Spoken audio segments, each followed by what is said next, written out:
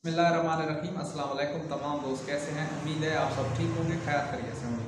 आप देख रहे हैं Mahmoodiya travel and YouTube channel, में आपको मेज़बान मोहम्मद शाह इकबाल अपने चैनल में वेलकम और शामिल कहता हूँ। दोस्तों, सऊदी अरब का फैमिली विज़िट वीज़ा एक साल का मल्टीपल विज़िट वीज़ा हम कैसे अप्लाई कर सकते हैं, कैसे ले सकते हैं, इसकी तमाम इन्फॉर्मेशन आप साथ शेयर करने वाले हैं। तो वीडियो को ज़्यादा ज़्यादा लाइक करके शेयर ज़रूर कर देख रहे हैं जिनका स्पॉन्सर सऊदी अरब में मौजूद है, जिनका जो कोई रिश्तेदार मौजूद है, ठीक है, कोई वालद मौजूद है, भाई मौजूद है, ठीक है, और वो चाहता है कि यार मैं जो है ना अपने प्यारों को अपने पास बुलाना है और उन्हें जो है ना उम्र करवाना है, या वैसे जो है ना सऊदी अरब उनको विज़िट करवाना है तो बड़ा इजी हो चुका है, ठीक है।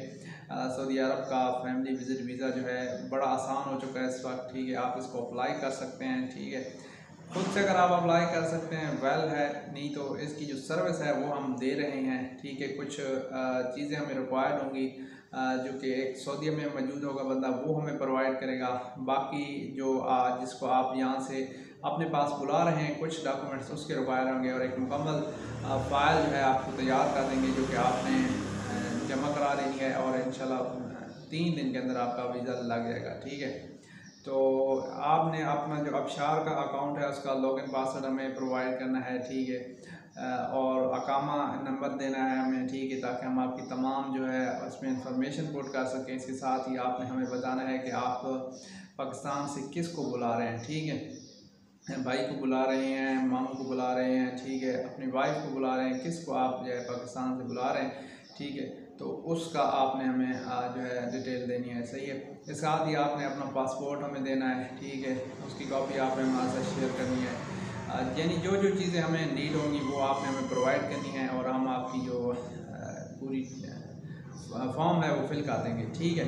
और उस जो, वो जो फॉर्म होगा, फिर आपने अपने कफील से उसको जो है अप्रूव करवाना है और फिर वही फॉर्म आपने पाकिस्तान जो है व्हाट्सएप पे आपने सेंड कर देना है। फिर उसी फॉर्म पे आपकी जो फैमिली है, उसकी डॉक्यूमेंटेशन तैयार होगी और वही डॉक्यूमेंटेशन अपॉइंटमेंट लेकर जो है फिर अपॉइंटमेंट लेने के बाद जो है वो अपने डॉक्यूमेंट जमा कराएँगे। ठीक है?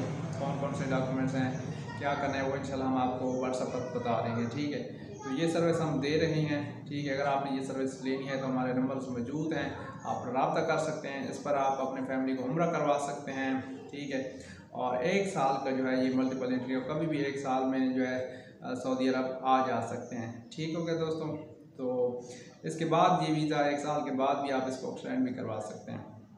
उम्मीद करते हैं वीडियो पसंद है कि पसंद है तो वीडियो को लाइक करें, चैनल को सब्सक्राइब करें, वीडियो शेयर करें। अल्लाह हाफिज़।